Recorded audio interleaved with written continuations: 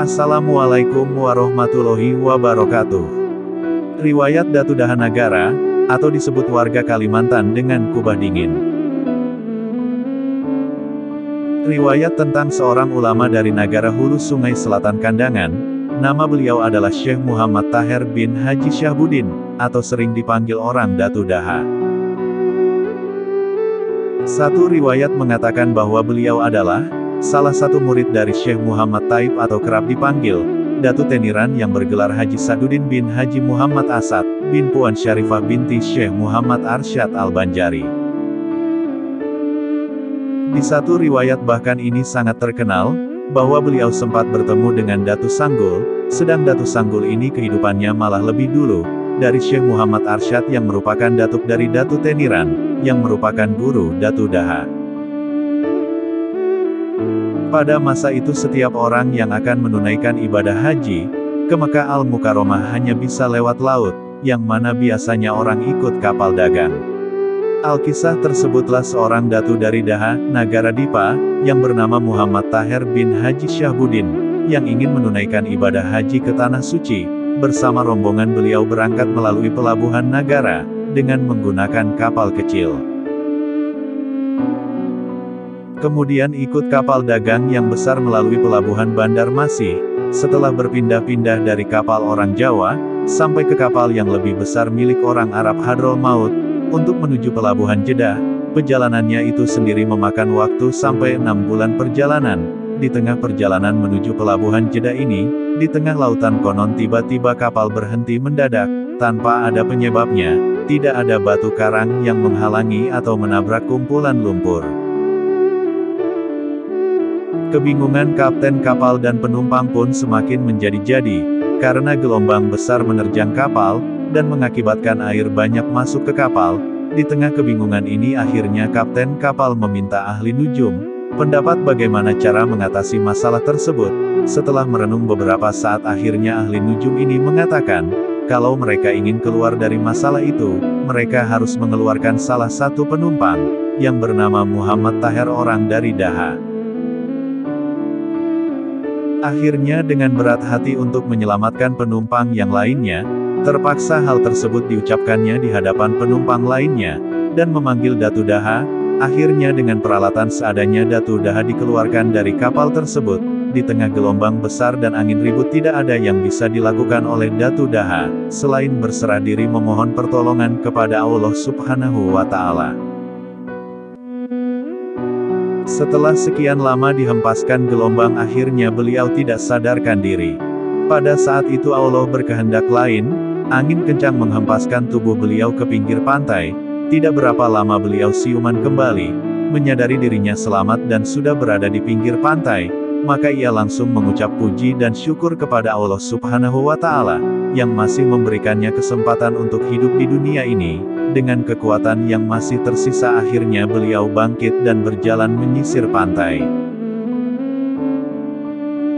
Dari kejauhan beliau melihat secercah cahaya terang dari sebuah tempat, mungkin sebuah perkampungan pikir beliau, di sepanjang jalan banyak terlihat makam-makam yang terpelihara dengan rapi, dengan kepenatan dan kelelahan, akhirnya beliau melihat orang tua, kemudian beliau mengucapkan salam, dan dijawab orang tua tersebut dengan salam pula, dengan isyarat orang tua tersebut meminta Datu Daha mengikutinya, dan membawa Datu Daha ke sebuah rumah. Setelah beristirahat sebentar, akhirnya Datu Daha menceritakan seluruh pengalamannya, dari awal sampai akhir dan menceritakan tujuannya untuk menunaikan ibadah haji. Orang tua itu dengan serius mendengarkan cerita Datu Daha, kemudian Datu Daha menanyakan perihal kampung tersebut, yang terlihat hanya rumah orang tua tersebut dan kuburan-kuburan. Orang tua tersebut menjelaskan, bahwa memang di kampung itu tidak ada perumahanan, dia hidup sendiri sedangkan kuburan-kuburan yang dilihatnya di sepanjang jalan, adalah kuburan orang-orang yang tenggelam di laut, yang dikuburkannya di sini. Mendengar hal tersebut Datu Daha sangat gembira sekali, dan yakin orang tua tersebut adalah Nabi Khaidir alaihi salam, lalu beliau bertanya, Apakah sampeyan yang bernama Nabi Haidir? Benar, sayalah Nabi Haidir, jawab orang tua tersebut. Alhamdulillah dengan izin dan rahmat Allah telah memberikan anugerahnya. Sehingga mempertemukan ulun dengan sampeyan, setelah mengucapkan kata-kata tersebut Datu Daha langsung memeluk, dan mencium Nabi Khaidir alaihi salam, setelah itu dengan suara rendah penuh permohonan, dan sikap hormat beliau memohon kepada Nabi Khaidir, untuk menolongnya supaya tercapat niatnya menunaikan ibadah haji. Dengan suara penuh wibawa Nabi Khaidir berkata, Insya Allah, dengan izin Allah niat kamu untuk beribadah haji akan terkabul.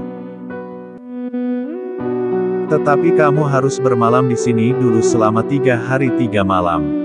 Untuk menunggu Jumat tiba, karena pada hari itu akan datang seorang wali Allah saudaraku, dari tanah Borneo yang tiap hari Jumat selalu singgah ke sini.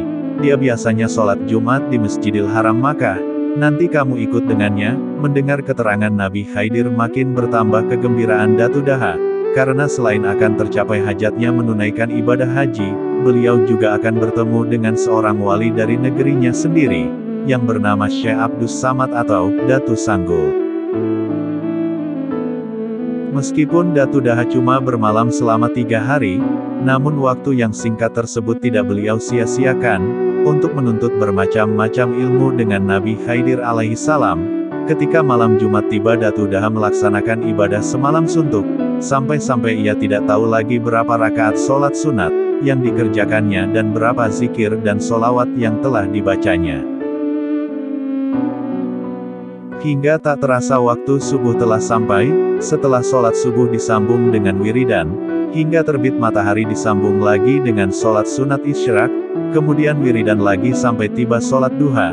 Setelah sholat duha dan berdoa, tiba-tiba muncul di hadapan beliau seorang tua yang raut wajahnya, penuh wibawa dan berpakaian sederhana, melihat ada orang di hadapannya Datu Daha langsung memeluk tubuh orang tua tersebut dan mencium kedua tangannya yang mulia. Hal tersebut dilakukannya karena ada firasat yang kuat dari batinnya. Bahwa orang tua tersebut adalah Datu Sanggul, orang yang ditunggu-tunggunya dari Borneo, yang dikatakan oleh Nabi Khaidir sebagai wali Allah, yang akan singgah sebentar untuk menemui Nabi Khaidir, kemudian melanjutkan perjalanannya, untuk sholat Jumat di Masjidil Haram Makkah, atau di Masjid Nabawi Madinah Al-Munawwarah, Datu Sanggul mengucapkan salam kepada Nabi Khaidir, yang kemudian dijawab oleh Nabi Khaidir dan Datu Daha. Kemudian mereka saling mencium, seperti layaknya cara bersalaman orang Arab selanjutnya mereka saling mendoakan. Kemudian Nabi Khaidir menceritakan tentang Datu Daha kepada Datu Sanggul, dari awal sampai akhir dan meminta kepada Datu Sanggul, untuk membawa Datu Daha menunaikan ibadah haji. Datu Sanggul mengangguk sambil berkata kepada Datu Daha, Baiklah sebelum kamu ikut aku berangkat ke Mekah, sebaiknya kamu mandi sunat dulu dan memakai pakaian ihram. Datu Daha segera melaksanakan apa yang diperintahkan oleh Datu Sanggul, setelah siap-siap dan pamit kepada Nabi Khaidir, Datu Sanggul kemudian berkata lagi kepada Datu Daha, pegang pinggangku dan pejamkan matamu. Datu Daha kemudian memegang pinggang Datu Sanggul, dan memejamkan matanya, hanya sekejap Datu Sanggul kemudian menyuruh ia membuka matanya kembali. Betapa terkejutnya Datu Daha tiba-tiba mereka sudah berada di tempat, yang Datu Daha belum pernah mengetahui.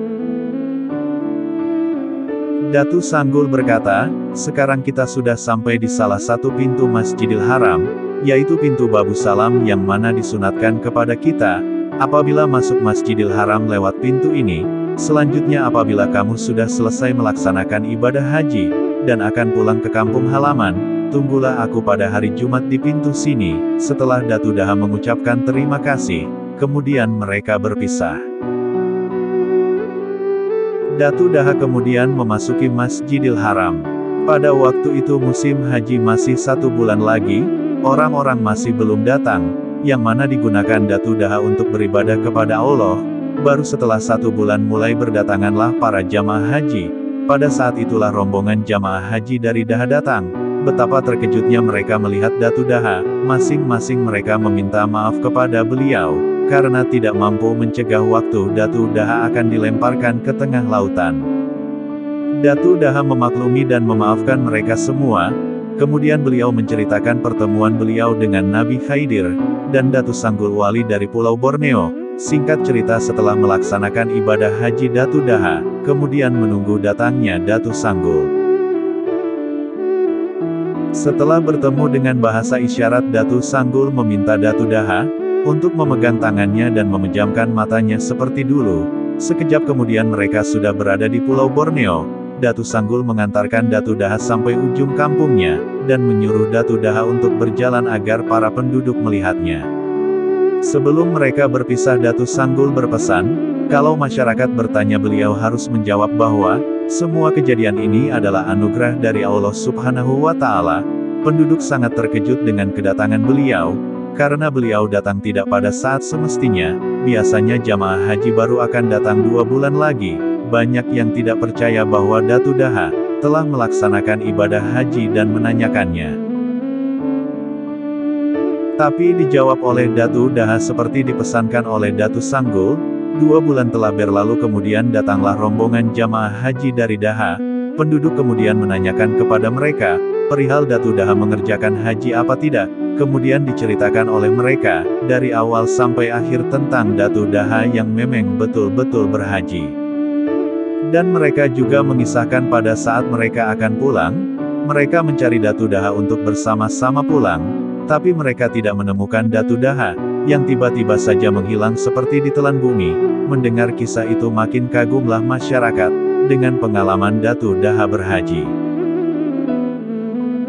Selain itu salah satu keramat beliau kubah tempat makam beliau, yang terletak di desa Teluk Haur Nagara, disebut orang kubah dingin karena suasana di sekitar makam Datu Daha, yang dingin dan sejuk meskipun di luar sangat panas, tidak tercatat kapan tahun wafatnya beliau.